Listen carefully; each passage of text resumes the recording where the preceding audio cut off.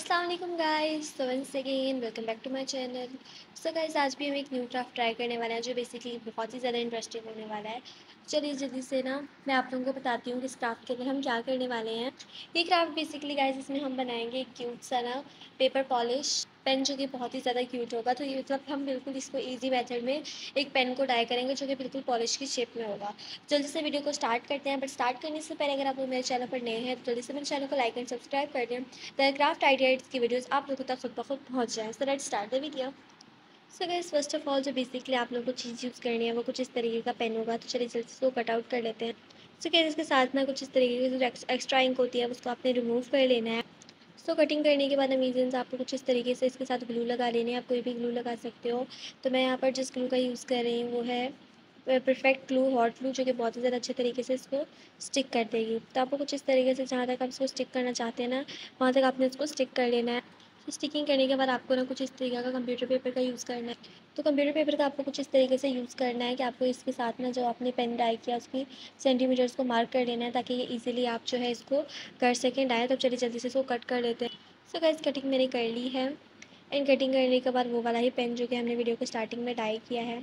उसका आपको यूज़ करना है और आपको कुछ इस तरीके से इसके साथ जो है स्टिक कर देना है, जो कि बहुत ही ज़्यादा इजीली स्टिक हो जाएगा। आपको इसके इस वाले पार्ट को स्टिक करना है ताकि इजीली हो जाए अच्छे तरीके से और आप इसको कर भी सकें। तो आपने स्टिकिंग करने के बाद एक बार देख लेना है कि बिल्कुल कन्फर्टेबल स्टिक हुआ है या नहीं, वरना आपको ये बाद में इरीटेट करेगा। सो गैस ये अभी तक कन्फर्टेबली स्टिक नहीं हुआ था तो चलिए जल्दी से इसको कर लेते हैं स्टिक तो आपको इस तरीके से यहाँ पर भी ग्लू को लगा देना है और इसको फुली जो है डिज़ोल्व करके इस तरीके से इसको फोल्ड आउट करना स्टार्ट कर देना है। तो आपकी फोल्डिंग जो है आपने बिल्कुल परफेक्टली करनी है आपने इस तरीके से इसको फोल्ड आउट करते जाना है और वीडियो आ, मतलब वीडियो के मैं कह रही हूँ कि आपने इसके अंदर ग्लू का यूज़ जो है वो आपने अगेन एंड अगेन करते रहना ताकि अच्छे तरीके से स्टिक हो जाए। तो मैं यहाँ पर एक बार ही अच्छे तरीके से वीडियो स्टार्टिंग में इसके ग्लू लगाऊँगी और एक जो है मैं वीडियो के वीडियो नहीं है इसके एंडिंग पेपर के पॉइंट पर लगाऊँगी। तो आपने भी सेम इसी स्टेप का फॉलो करते हुए इसको फोल्ड करते जाना और एंड तक इसी तरीके से आपने इसको फोल्ड आउट करना है। चलिए जल्दी से मैं भी इसको फोल्ड आउट कर देती हूँ। तो आफ्टर डेट फोल्डिंग आपको यहाँ पर भी ग्लू का यूज़ करके इसको स्टिक कर देना है। So let stick the glue तो आप यहाँ पर फेविकॉल का भी यूज़ कर सकते हैं। फेविकॉल जो है वो इसको अच्छे तरीके से स्टिक कर देगी। तो आप कुछ इस तरीके से इसकी स्टिकिंग करने के बाद जो हॉट ग्लू के यहाँ पर ग्लू बच जाती है, आपने सारी को रिमूव कर देना ताकि बिल्कुल पेन की तरह दिक्कत चलिए जल्दी से इसको रिमूव करते हैं। सो गाइज़ ये करने के बाद बेसिकली वैसे हमारा पेन तो एक रेडी हो ही जाएगा।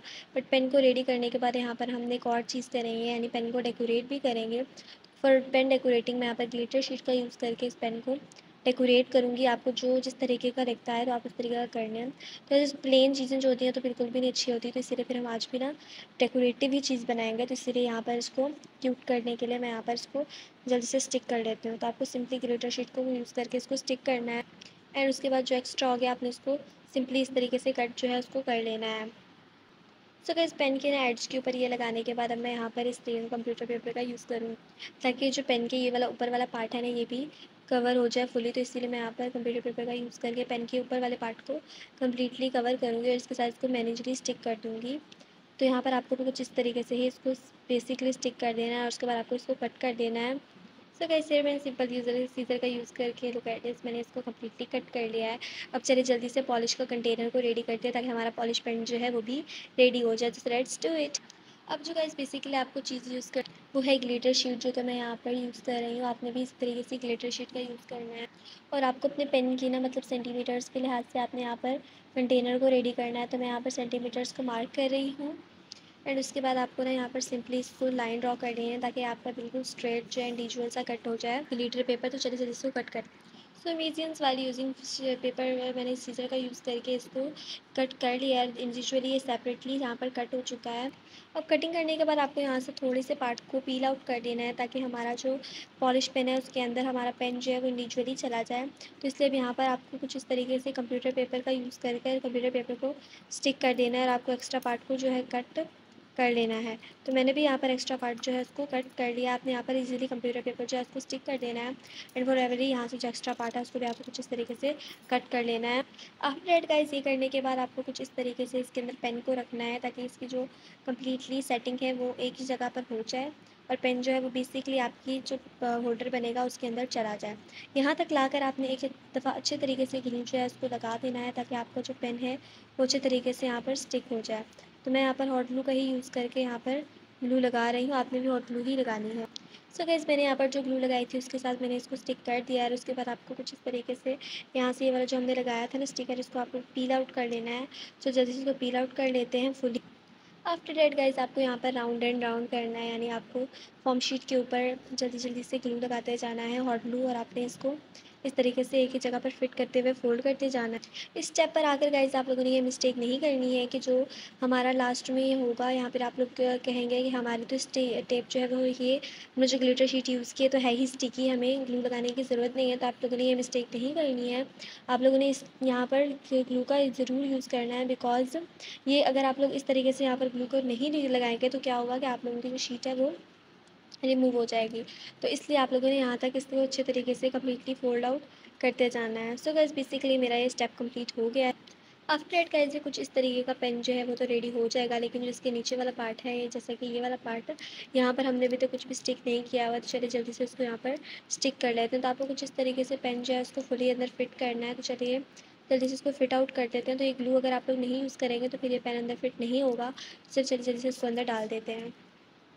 उसके बाद गाइज़ आपको अगेन फॉर्म शीट ले लें। एंड इसके नीचे वाले पार्ट के ऊपर आपको फुली जो है ना ग्लू लगा देनी है हॉट ग्लू और यहाँ से आपको इस तरीके से इसको स्टिक कर देना है, और उसके बाद आपको इसको कट करना है। So let's cut it after that guys you have seen कि हमारा जो पॉलिश पेन है वो कम्प्लीटली रेडी हो चुका है।